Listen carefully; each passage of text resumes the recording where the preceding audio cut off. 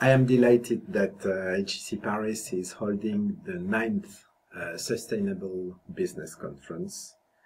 Um, this year, the theme is uh, enabling the positive city, which basically is about addressing the challenge of meeting the needs of huge concentrations of populations in very, very large cities. Um, I think this event uh, is important for three reasons. The first one is that it is a student-run event.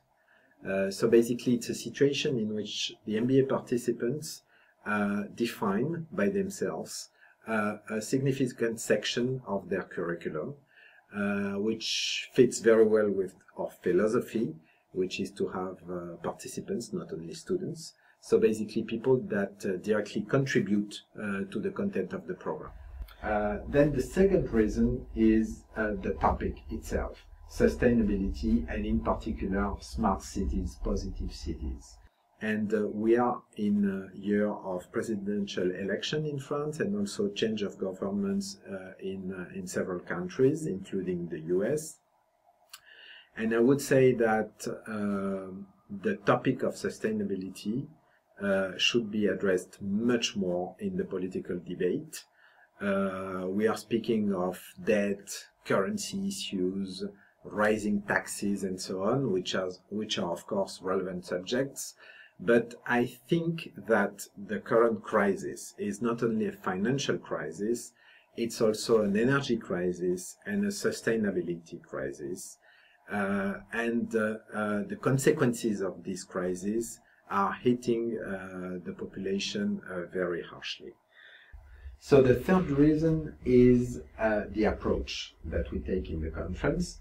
Uh, first, we address this issue of uh, large cities, with, which I think is particularly relevant. And second, uh, the question currently is no more whether sustainability is important or not. It is important, it's a given. Uh, the question is more whether it is a tax uh, cost that businesses should basically pay, or whether there are business opportunities uh, created by, by sustainability issues. And uh, we firmly believe that there are business opportunities. And basically that in order to solve sustainability issues, in order to design the cities of tomorrow, we have to find market-based solutions. We have to create new businesses. We have to innovate. And basically the conference is about exploring these business opportunities. So we, we basically look at three subtopics, I would say. The first one is clean tech. So basically looking at energy and waste in large cities and uh, uh, how to restore the environment and the society. This is the first topic. Second, infrastructure and mobility. Uh, so basically how to generate positive infrastructures and how to fund uh, these initiatives. And the third is around social business.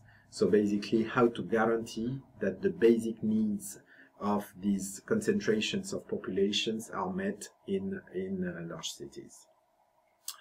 Uh, so I think the program is extremely attractive and we have, uh, we have uh, um, very interesting and very competent speakers. So I wish all of us an excellent conference.